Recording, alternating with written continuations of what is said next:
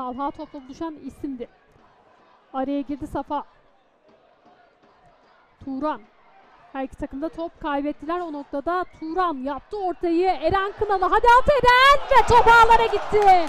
Eren Kınalı uzatmada golü buldu. Etimesgut Belediyespor.